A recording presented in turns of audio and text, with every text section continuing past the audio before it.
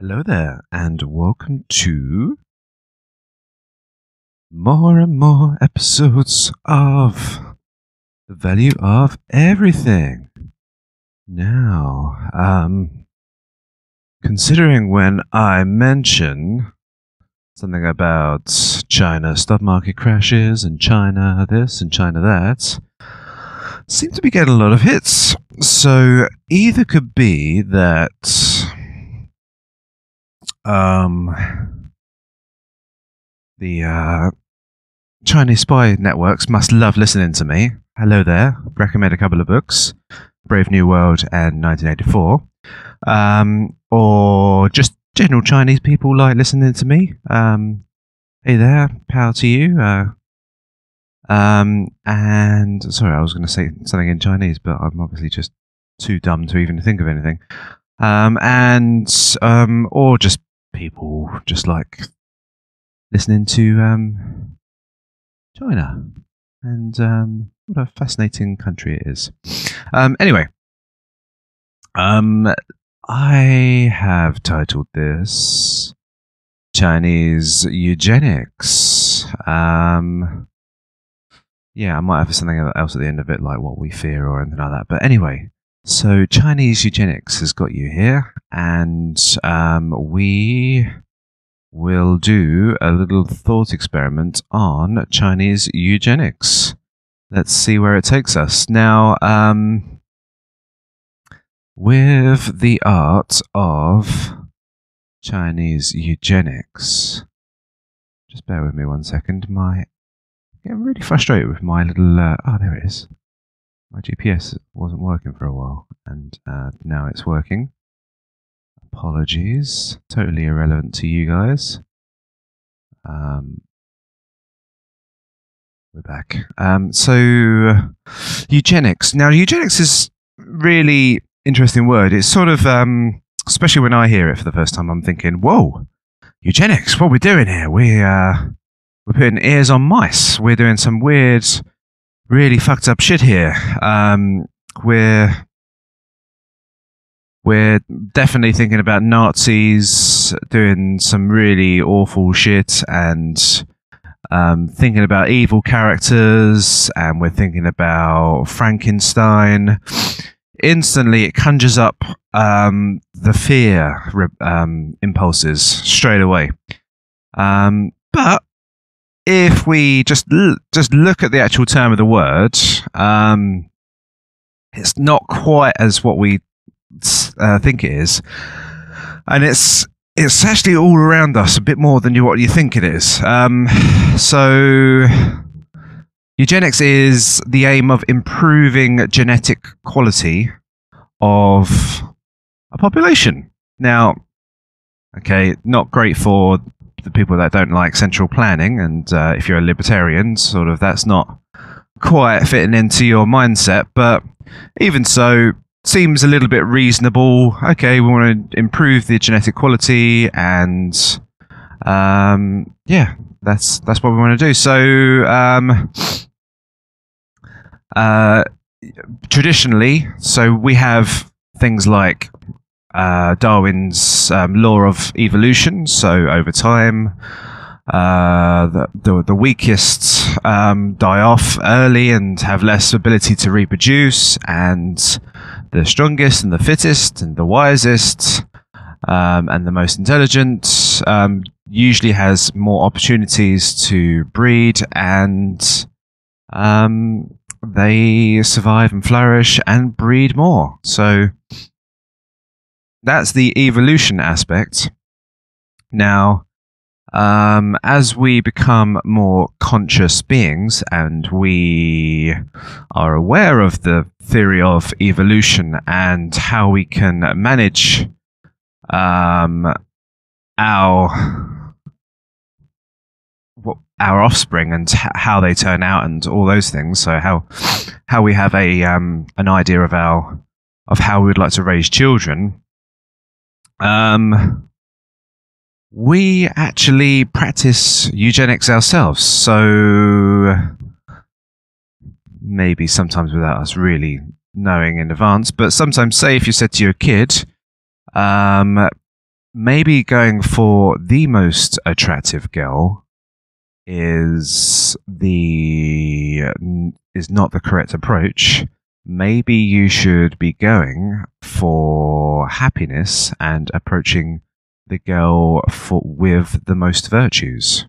So the one who is the most productive, the one who is the most kind, the one who is brave, can stand up for herself. Those, if if a girl is um, providing a lot more of those virtues and demonstrating them in comparison to the pretty girl that just sits there and does not a lot, then that is the way you should be guiding yourself. So you are practicing a eugenics in the terms of fighting your own compulsion to be um, to just go for what would seem to be the the right choice at first glance to go for um, pure health aspects, but um, in today's age, health can be a little bit more managed. Um, health, where it was extremely important um, in the past, um, just for like just for a child to get past like childbirth, age, like from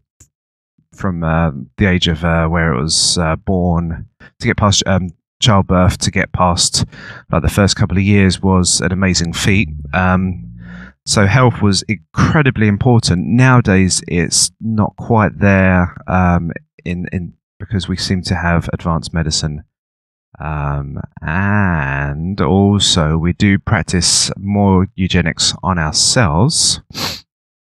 Um, let me just go through an, a couple of uh, little interesting points. So um, there is classical eugenics, where um, say we a government runs a or just a, a charity runs a campaign a campaign uh, uh, promoting contraception. So um, not having children out of wedlock and um, having unprepared children um, is a classical ideal of um, eugenics. Um, there is negative eugenics, which um, is fairly um, tricky, which, uh, when I say tricky, it's a bit of a strange word to use, um, which is basically um, sterilization. Now, you, you potentially could have forced sterilization just because um, the state prosecutes you for certain, um, certain things that you may have, like a disability or a certain race, or even um, a certain mindset. Maybe you talk against the state too much. so, there is um, negative um, eugenics, um, that that sort of um, sterilization element. Not to mention that you could be voluntary, voluntarily um, uh, sterilized. Um, I don't quite know where that.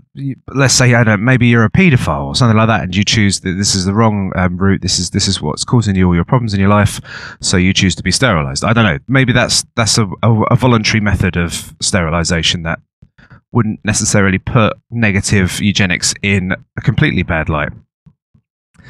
Um, then we have something called um, positive eugenics. Now, positive eugenics um, is where a government can give financial incentives to having um, more children. Um, you can have tax breaks for more children, and you could possibly even tax the ones who do not have children, um, so that you uh, burst the population, which a lot of governments do do, um, and that is another method. And um, this is probably so. So there's th- those phases which pretty much didn't really come to mind for me anyway. When I, the first thing that uh, came into my mind when I mentioned um, eugenics, um, but there's um, the the final one, which um, I think everyone's quite aware of, um, which would be called new eugenics, which is um, items like uh, prenatal diagnosis of genetic disorders. so if there was a defective um, fetus, then it could um, there, that could be pre-diagnosed and it could be ter- terminated early. Um, that that kind of screening does occur nowadays. It's everyone's far aware of it. Um, I if you just do a little bit of um, information on the statistical data based upon um, uh, people that um, are aware of children having defects, um, maybe not even sort of completely debilitating um, defects like something like uh, Down syndrome, but would require a lot of care. Um, there's still an extremely high um, ratio of terminations which are decided upon. It's I, you would have to correct me on this, but it's something on the region of about eighty percent.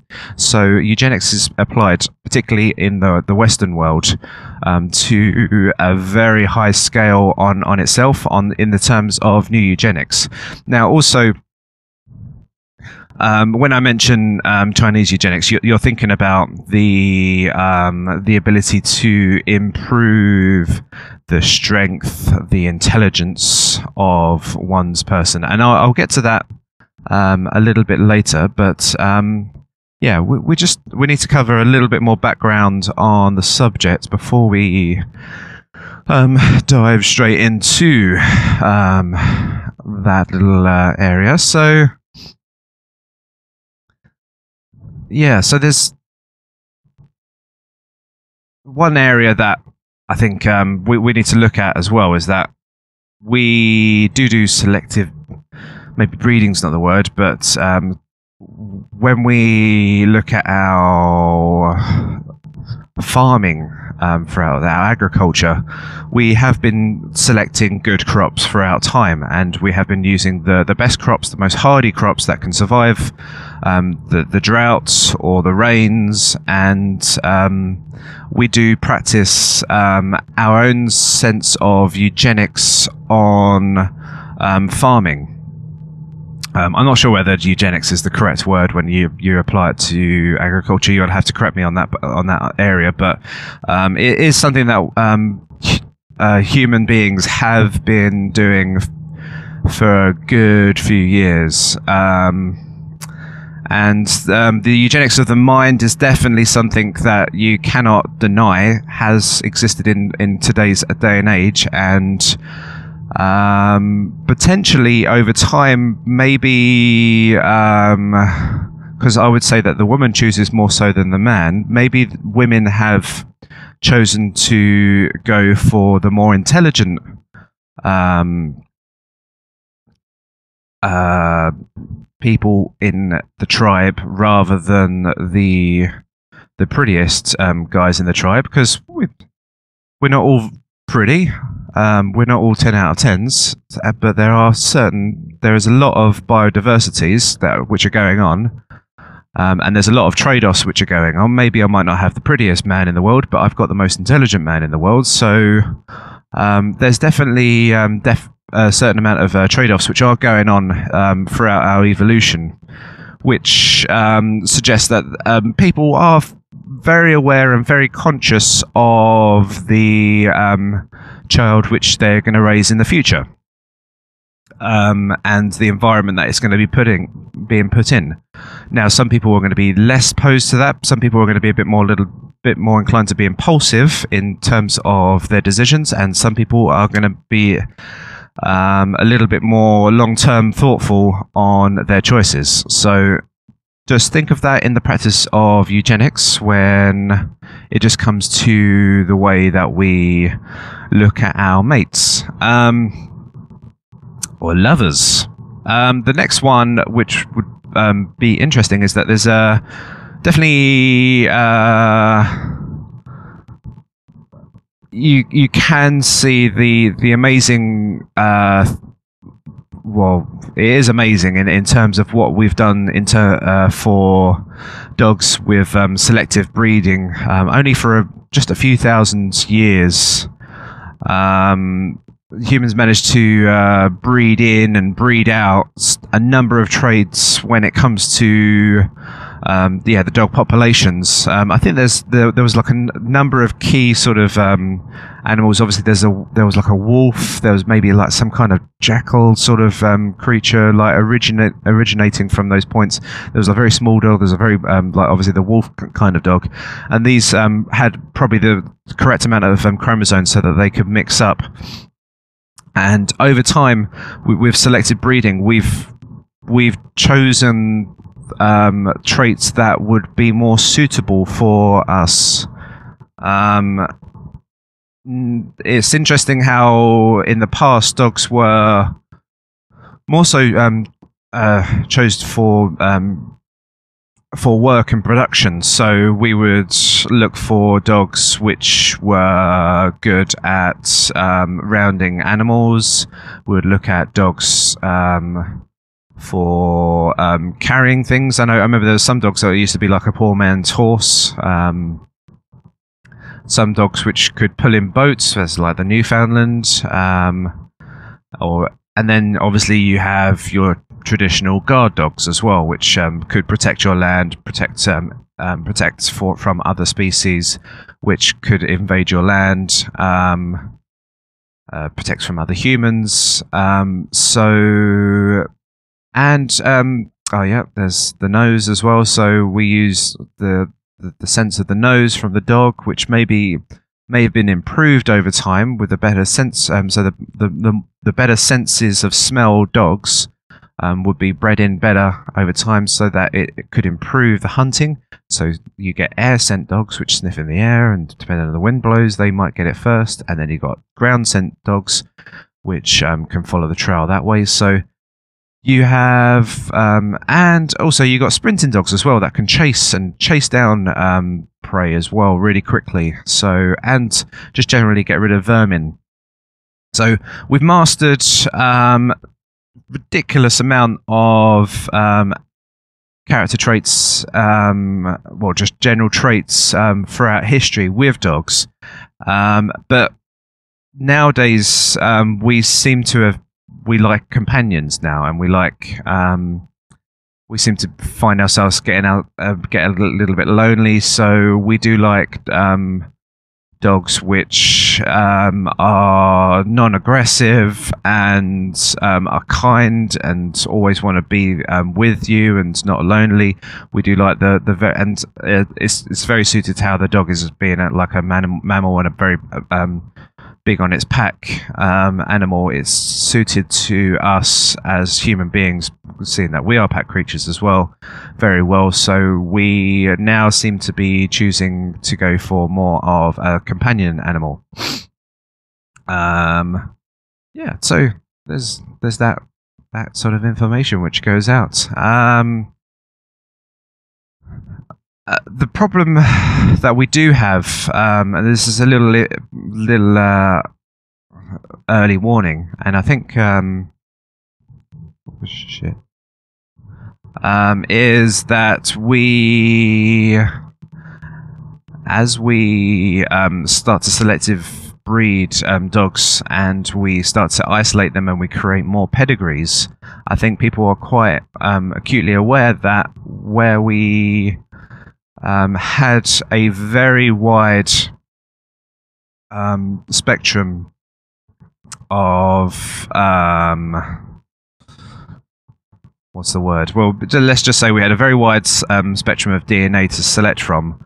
Um, we where we create pedigrees, we narrow that down more so and more so, and that means that defects can come out far quicker. Whereas um, you could, if if you've got one defect gene and on the other side for the male and on the female it um, doesn't have a, a, defect gene then you can generally remove the defect.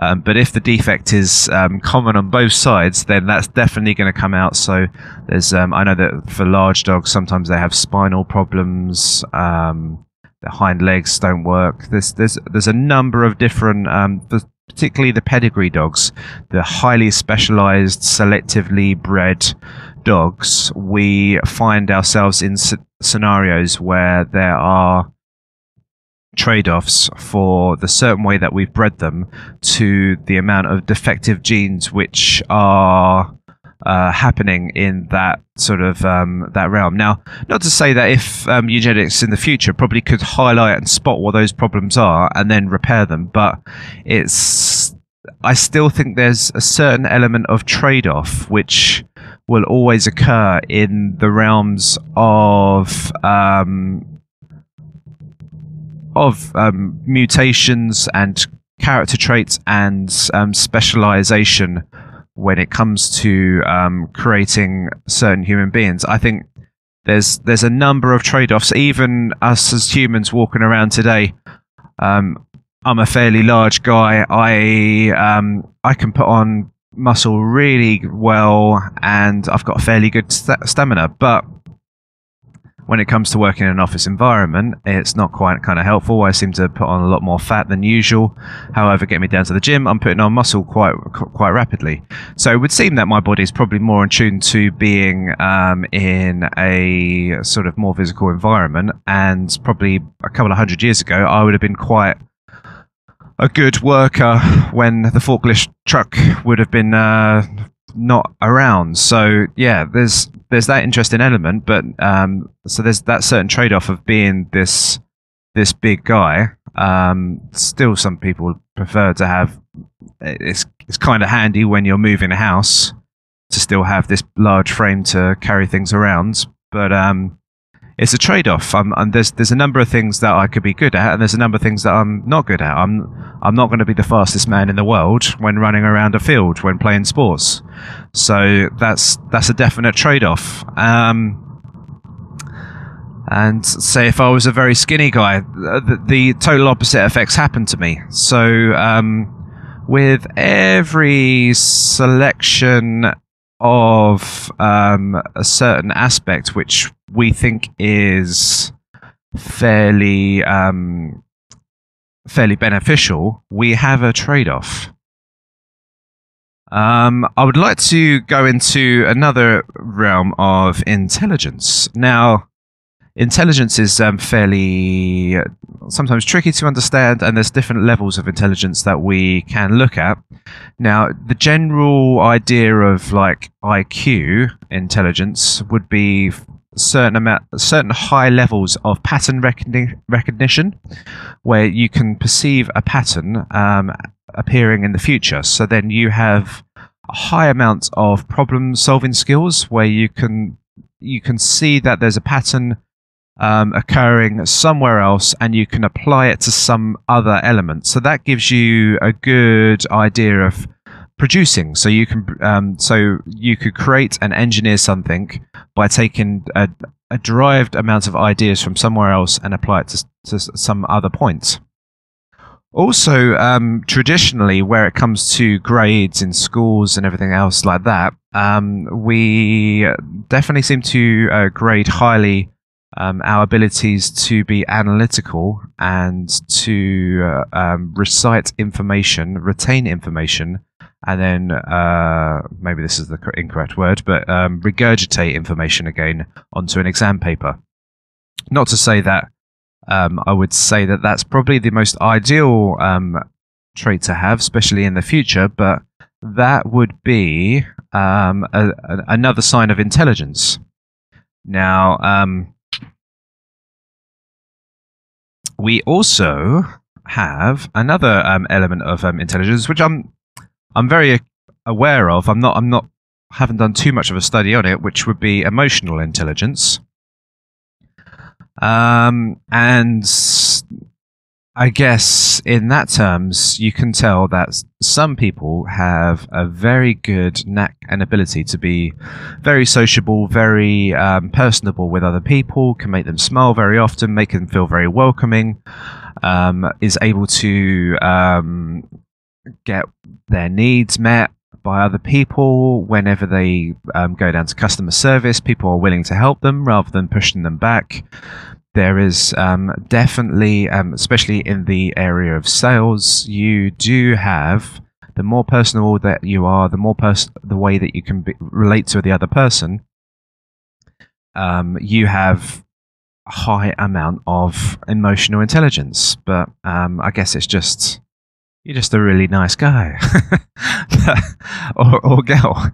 Um, but yeah, so there's there's certain levels of intelligence which which are going on there. Now, I'm gonna make a bold prediction here and say that maybe the Chinese are looking for the high IQ, maybe pattern recognition, and the high analytical um, um, uh, sort of memory retention, sort of uh, thought processing. So, um, here I have some questions. So, if we're creating um, this supermind, which is going to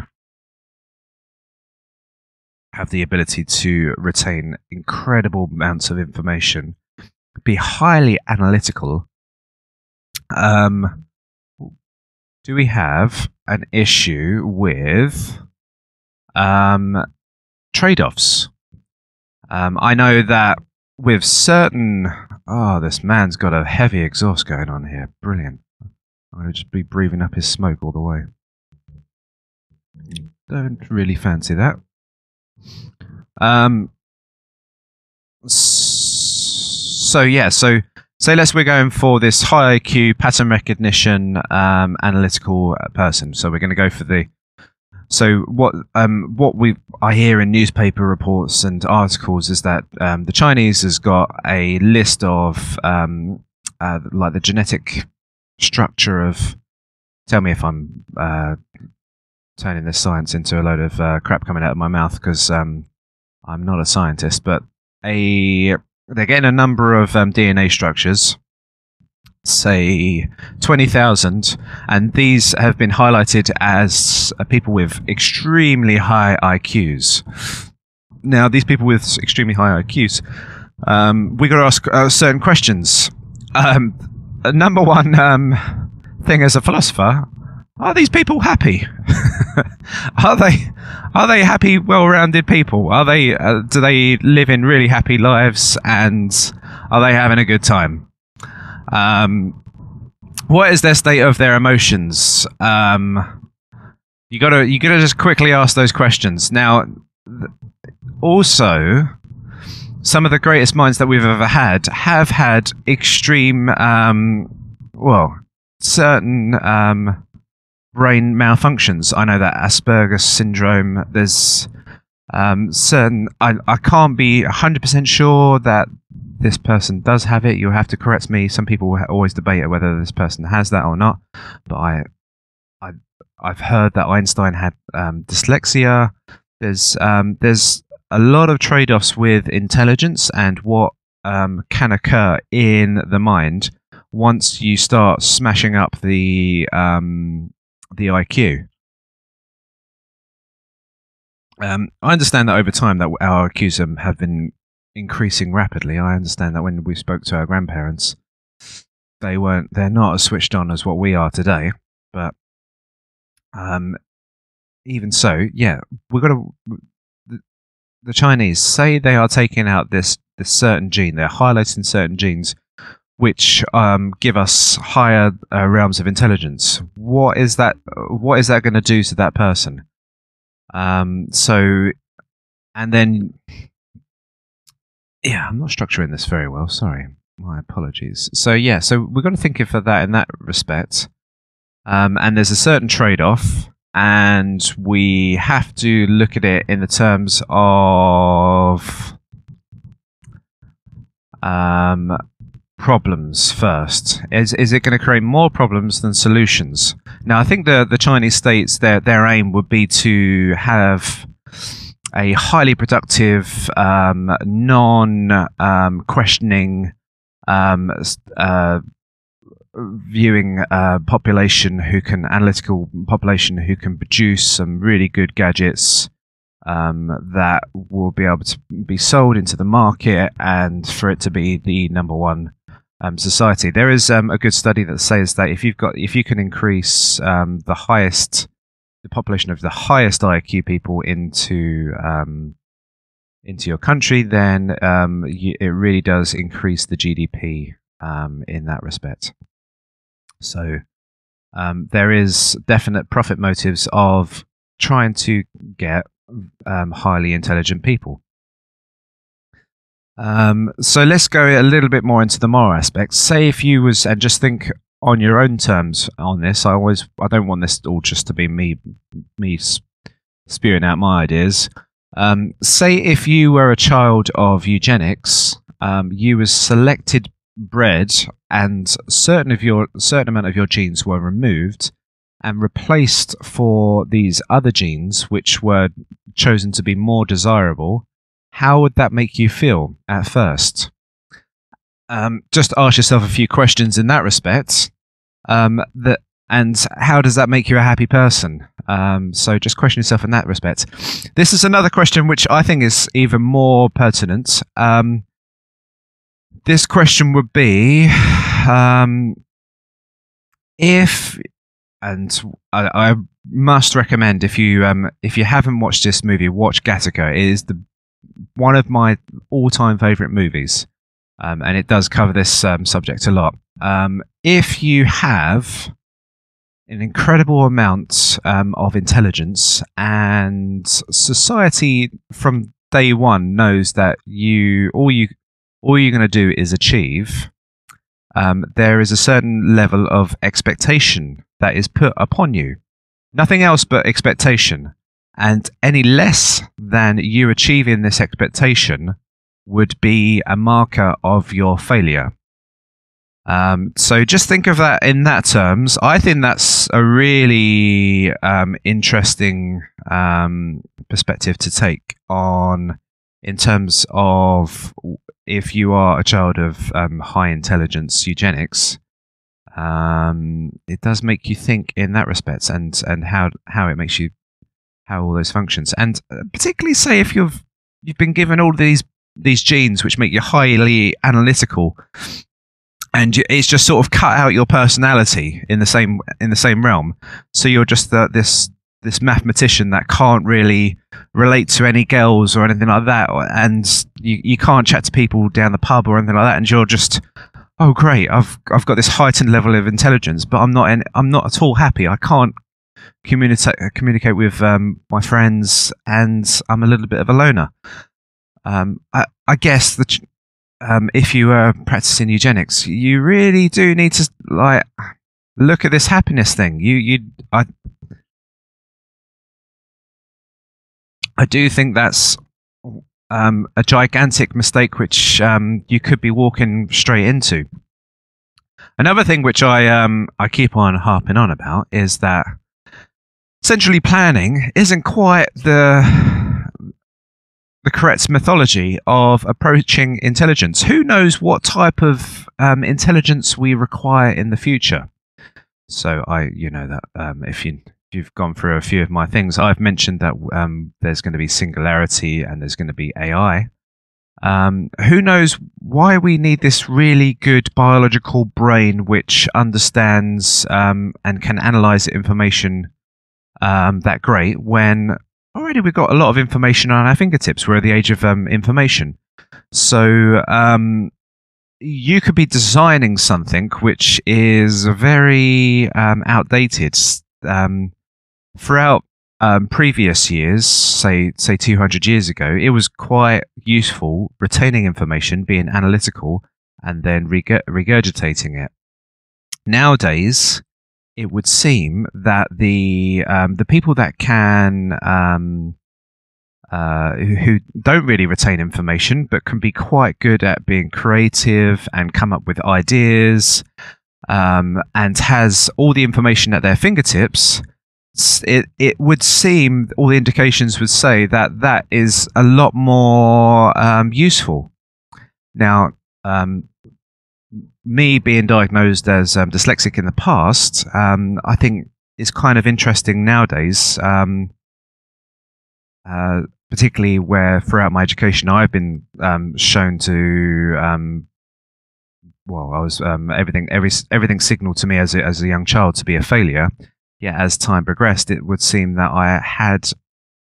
It seems that I have skills which I can sort of master and use, and I do seem to be able to come up with a lot more ideas than um, than uh, people that I work with. I don't know whether it's just the people that I work with or not. I, I'm sure that people, um, the people that I'm who are listening to me right now are probably just as good as me, but um, it's it's interesting in that respect. Um, dyslexia is um, a defect of the mind. It's it's classed as a defect of the mind because I think um, there's a certain element of communication which is going on in the brain which is um, stopped between the left and right hemisphere, um, and yet the brain has to work a little way around that defect, and that gives us more use of the spatial mind, and the spatial mind can definitely give us this very interesting perspective. Also, um,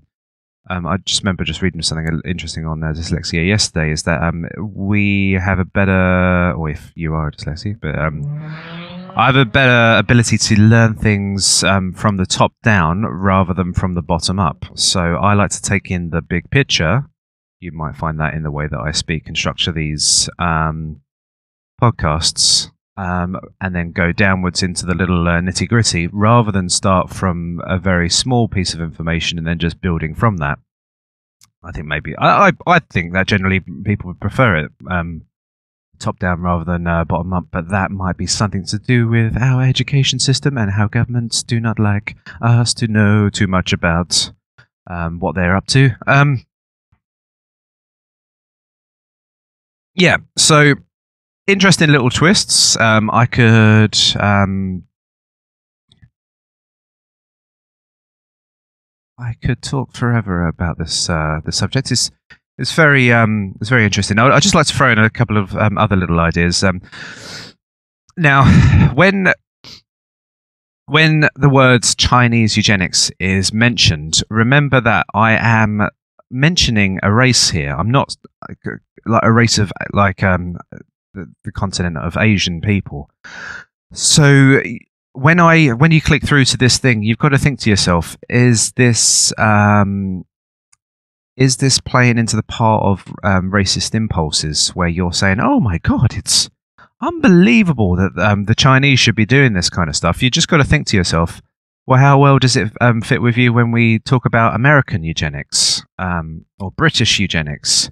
Is it acceptable then? And um, just to, to look at it in that perspective, you've got to say, okay, right, well, if it now sounds a little bit different, or Australian eugenics, now if it sounds a little bit different to you, um, you've got to ask the questions why.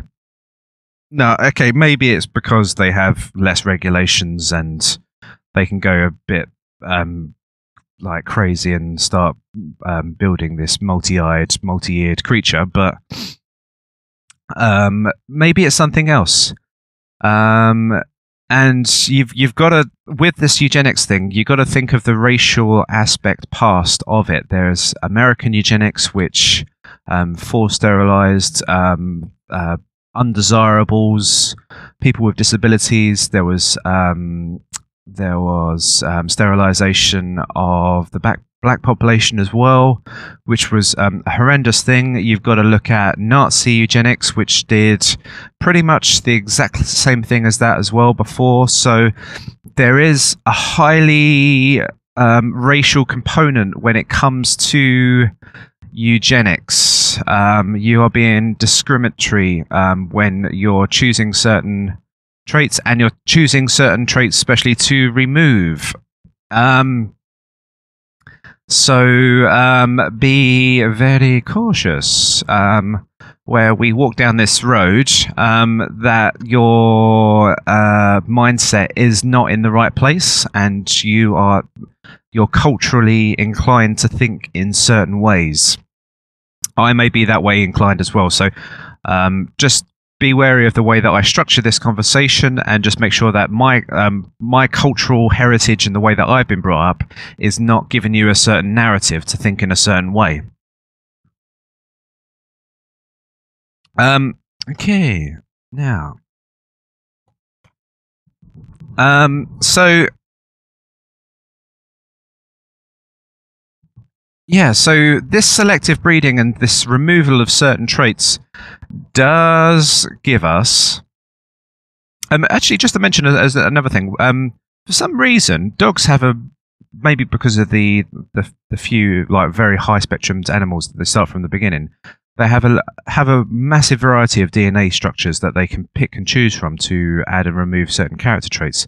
Um, human beings don't have as many. Um, even though there would be, it would seem that with there's some large people, there's some small people, and all this that kind of stuff.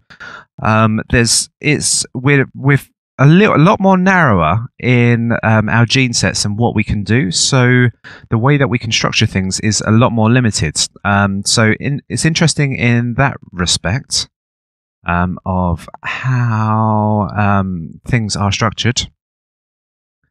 Um, going back to the Chinese anyway. Um, so remember that Chinese uh, programs have eugenics programs have been in place.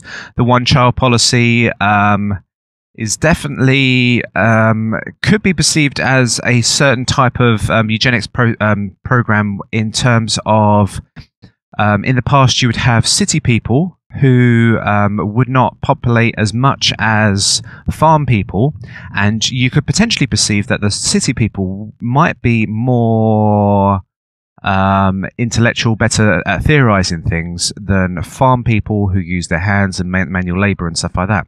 So, by applying that certain level of um, one child policy, I think in the mid 90s, um, you do have an ability of creating more city like folk rather than more farmhand like folk. So, um, there's just that little, um, yeah, interesting little twist of um, how government policies can definitely um, change DNA structures of people. Um, I, I, can't think of how inc- like profound how how it how saddened it could be that like somewhere like um, Cambodia, where all of the most intelligent uh, people, the the most outspoken, the ones that just ended up with glasses on, got um, got exterminated, and it just just so that one uh, leader just wanted a complete peasant race and bring everything back down to year zero with um, Pol Pot so, and his killing fields. Um, it, like that country's pretty fucked now. You, there's no way that like um, unless people see opportunities in, in there and resources and rebuilds it from scratch. If you ripped out all of the most intelligent people, that is a humongous um, like impediment that the Cambodians have had now with in terms of that. I know that obviously there's some people that can hide out of it, and there's some people that have had potential in in poor levels and were quite high intelligent, but not without without wrong in the wrong environment. They they never flourished. There has that been that potential, but because now they're surrounded by a lot more people that are haven't got the, ideas and tricks to move on and the pattern recognitions.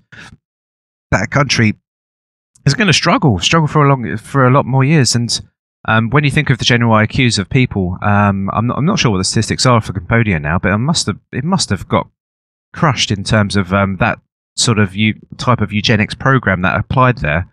Um, Asians are far more intelligent um, than um, Caucasians, white people.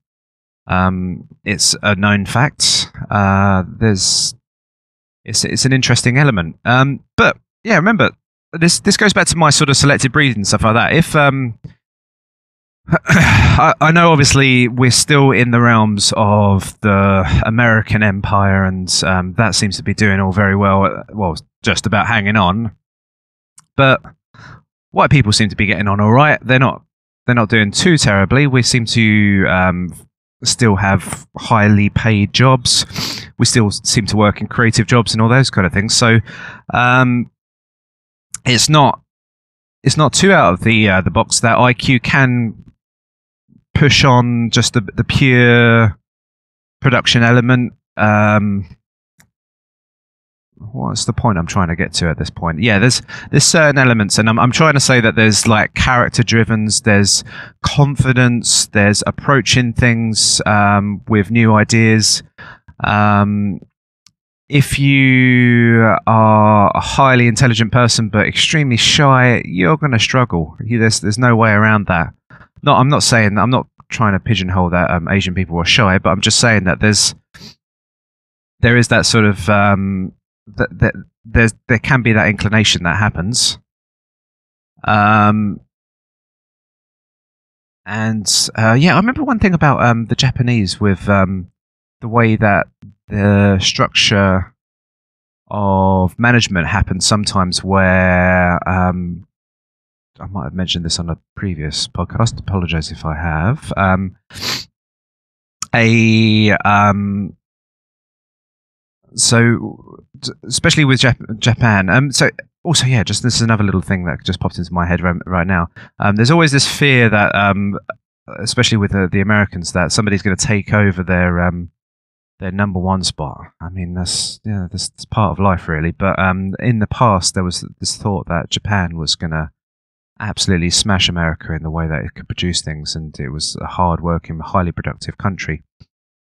And um, it was on that sort of um, set until everyone realized that there was a big money expansion problem, and then they just ever since have been in this continuous state of stagnation um, or stagflation and um, humongous zombie banks, which um, is sort of the current state that we're living in right now. But um, uh, with um, the Japanese um, style of uh, doing things, there there was a certain level of order which was applied where the boss would be the boss and um, say if you went out for drinks after work, the boss would be the last man standing, and it was disrespectful for you to go drinking beyond the boss's time. Um, it would be disrespectful for you to start saying, "Well, I don't think that's a good idea. I think we should do that instead."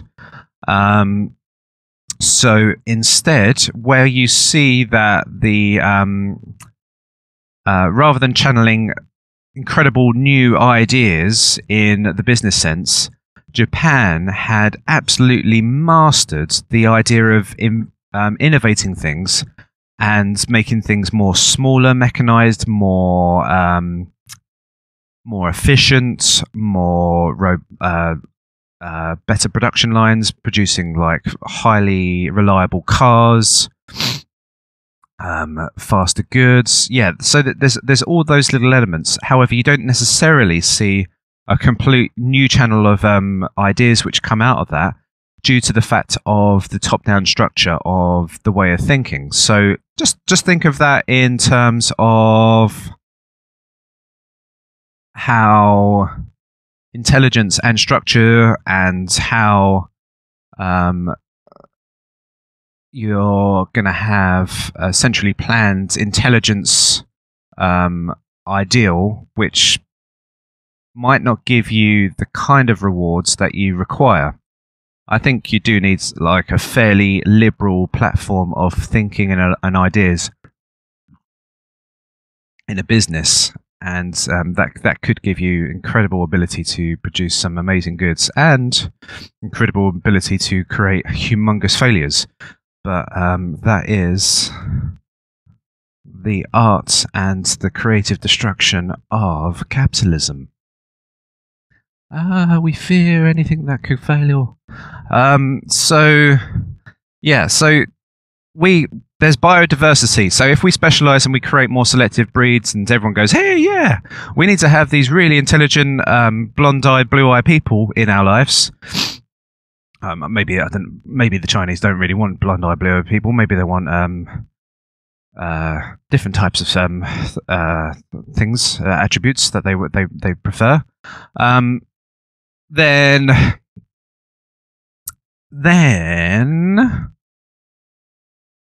Um, if everyone starts to breed with that stock, then we create less of a biodiversity in that respect. And remember, sometimes perceived problems, problems that we've got in our um, gene set, can be amazing um, advantages in the future. Um, there's a lot of theories. Remember the the um, the closest um, species that we had to us once was the Neanderthal.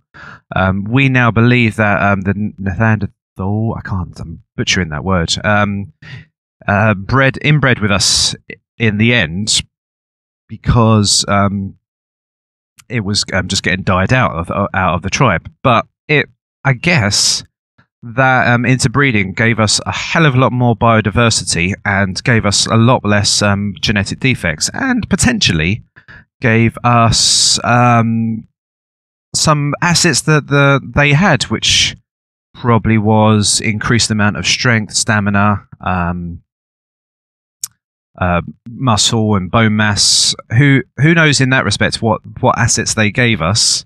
Um, we we are inclined to believe that that animal, or, or when I say that animal, that species of humanoid was um, uh, less lesser than us, but in certain elements and in certain environments, that um, certain attributes would have been highly um, favorable to us. Especially if you've got this um, huge man, he would have been incredible in battle. Um, so to have that in in our um, tribal stock, that would have been a, a massive, um, brilliant feature. Maybe not. It wouldn't have been that fantastic for um, just like organizing your battle, but for just a, a, pure fighting sense, you've got. And if you had the correct minds that could uh, manage that at the same time, you've got this um, complete battle machine of highly intelligent people organizing your structure, and then the the battle hardened um, the Thandathals um, at the front who can um, just pick up a man and throw him 20 meters. Who knows? Um, so, but I'm not saying that we all need to be incredibly muscular and um, uh, powerful. But yeah, so th- there's all these benefits. Imagine if um, we all decide that we want to be these big, giant, um, muscular um, creatures, then we ain't gonna we ain't gonna enjoy our time sitting on planes too much. There's there's certain hope and praise that when you see a um, person of an Asian stature that comes to sit next to you, you're like, oh my god, what a wonderful world we live in. But um, when you get this big fat Western person come down to sit next to you, you're like, fuck this. This is fucking shit. So um, biodiversity is um, incredible. It should be um, praised. We don't really sort of hear about it enough, um, and um, it should be respected. And the more that we selectively breed and structure things to be a certain way inclined, we as a population potentially could put the blinkers on certain ideas and ideals that may empower us in the future and m- may hold the secrets to our own survival as well in the future perhaps we might get a load of despot people in charge of the governments, and really what we just needed is to have that capacity of putting on shitloads of fat and weights because we're going to have a few famines coming around the corner. So, um, hey ho for the fat people, we're gonna we're gonna um, reap the rewards of the land in the future. That that might be just the one thing that we need. Who knows um, what's coming around the corner unless we um, take power of and power, the power of our children and apply the correct eugenics to our children so that we live in a peaceful, beautiful environment where we can voluntarily trade with each other without the oppression of people taking things from us by force. Um, yeah, so just remember the uh, the term for the greater good. That can be a dangerous thing to use. Um, for the greater good doesn't necessarily mean that everybody else is particularly happy. You could have the greater good being at 51%. So um, you got 49% of people which are very unhappy. Um, be um, very mindful of those facts. Um, what else can I round off? Let me just um, give this other driver a little bit more space next to me in the car park, or he's going to just smash his door straight into my side. Um,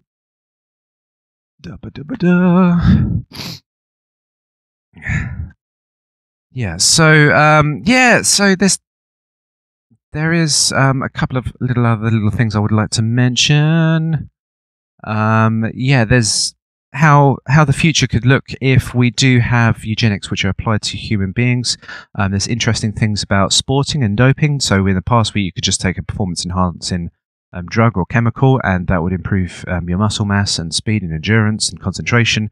Um, now we have the ability to uh, adapt our genes just before anything else happens. So Um, how would that be applied in the sport world? We would have to have some just like humongous mutant um, powerhouse um, injected um, American football sort of thing going on, and um, then we would have to have like the au naturel sort of um, sport, which happens where just people are just general and non-genetically uh, modified. But I don't know how you would be able to detect the difference between those things. Um, if if the the problem is is that is that you're, you're losing the voluntary aspect because you're not the person who chooses to um, have.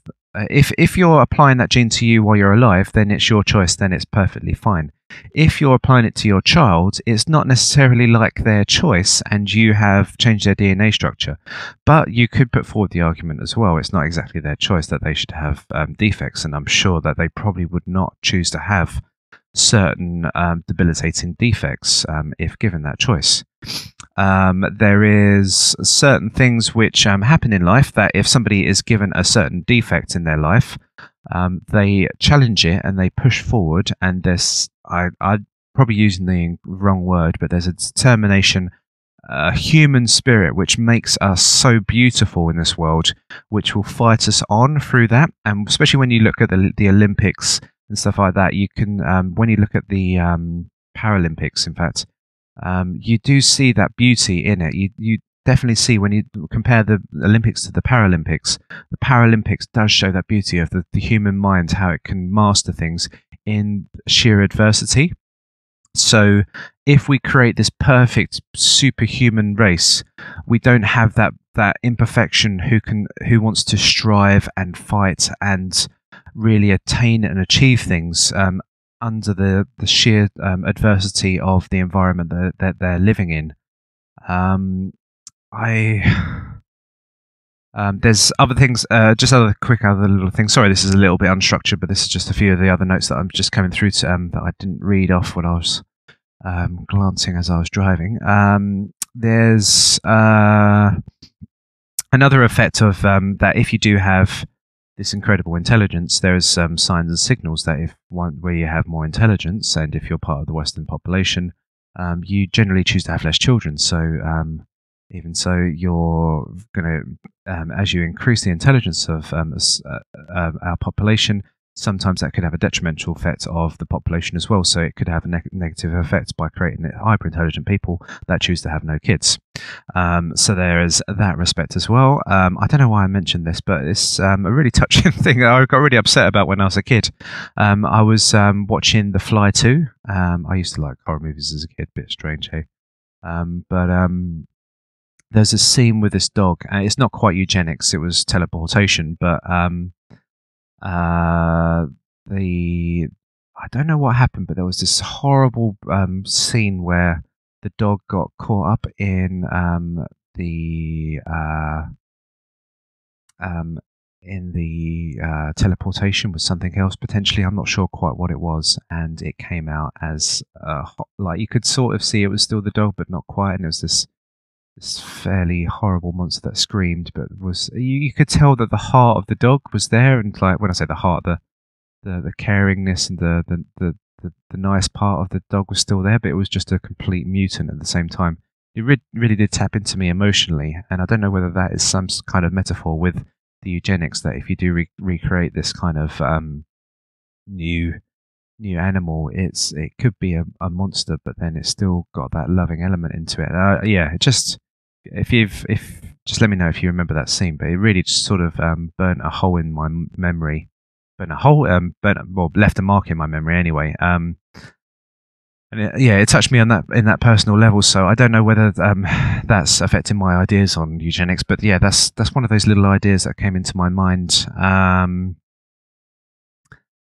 yeah, I think um, I've covered a lot of aspects there. I just want to add one final thing. So let's go back to um, Mr. Einstein. Now he um, thought of the theories of relativity on um, on just um, by daydreaming a lot. So he would spend a lot of time daydreaming rather than pure analytical focus.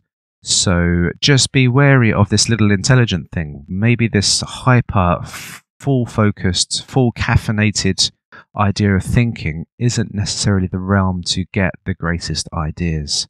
And the greatest ideas are the things that push forward um, humanity um, uh, to a better world. Um, so um, let's think about that. Maybe these daydreamers at school which get penalized, maybe they're the ones that have the greatest answers. And we're looking at these intelligent people that can produce these fantastic results in analyzing and regurgitating data, may not be necessarily the ones that we're looking for.